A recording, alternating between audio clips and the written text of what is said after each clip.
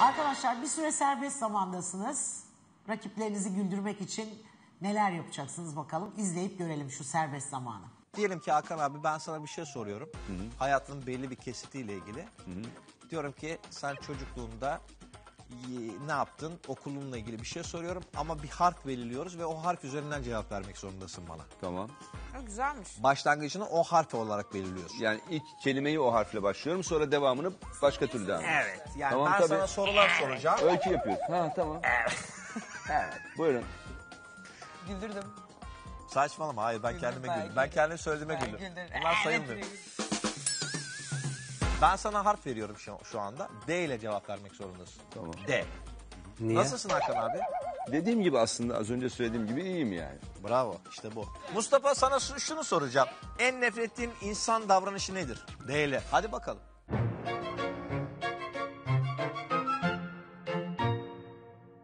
Dengesiz. Dengesizlik sevmiyorsun insanlarda. Çok tutamadım. güzel. Bak, evet, dengesizlik tutamadın. var. Dengeli olsan tutardın. Çok güzel. Öykü peki o ada yarışmasında yaşadığın en saçma sapan an neydi? Damarıma çok bastılar. Güzel. İşte yine D. Cevabını verdim. Aa, üç tane çok çok güzel Ha, D cümle geldi. mi olacak, kelime mi olacak? Dediğin gibi abi. Hadi D ile başlayan bir şey. Mesela Sadi her gün yemekten bıkmadığın bir yemek söyle. Döner.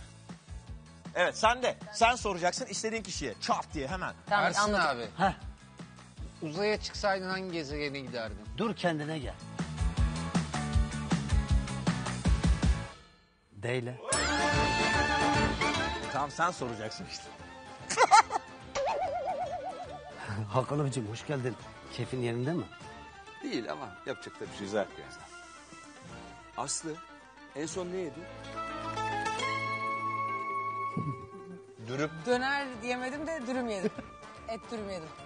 Dürüm et. Dürüm et. Dürüm et yedim. İlk aklıma gelen dönerdi. Sonra dürüm eti oldu, bir şeyler oldu. D ile başka ne geliyor aklınıza yemek bilemedim ben. Senin giymeyi en çok sevdiğin şey ne? Düz böyle ama bir yandan da e, ne bileyim duralit diye bir şey vardır biliyor musunuz? Onun gibi kumaşları seviyorum. Dürüm. Duralit ne ya? Ben de söyledim. Tamam ben ha, ben cevap verdim şu an soruyorum tamam.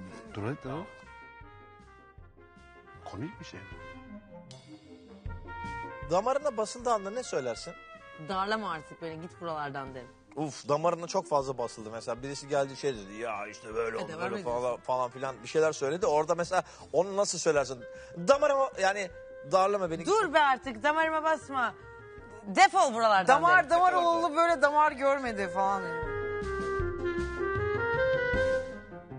Peki senin en sevdiğin renk ne? Ee, böyle e, darı renkleri mesela Dır rengi ne demek? darı rengi mesela nohutun buğdayın falan Sarı rengidir gibi. darı rengi budur yani Çok iyi bunu herkes hububat rengidir yani darı rengi Duman.